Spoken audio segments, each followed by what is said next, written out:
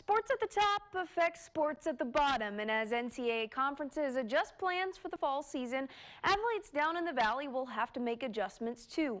Daniel Esteve tells us how one Valley athlete is managing uncertainty. Most athletes compete on Friday to one day First down and goal at the four.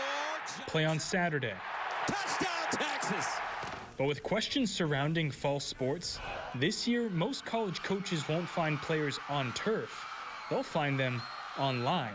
Every morning I wake up, email coaches. Brownsville Hanna's all district safety Diego Escovar is just one of many Valley athletes still waiting for that first offer.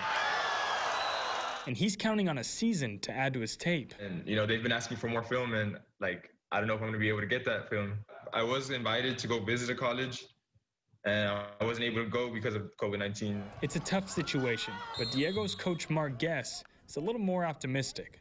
there's still a lot of colleges that are going to look at even their junior year film and be able to decide as to whether or not they want to bring those guys uh, to their universities. And Coach Guess also knows Diego has a decent backup plan. He's a very smart kid. You know, he's a top 10 guy. Like we always preach to our kids, you know, education is the one thing people can't take away from you. Uh, so, as of right now, like, worst case scenario, we try to get somewhere on with the academic scholarship and possibly, like, walk on.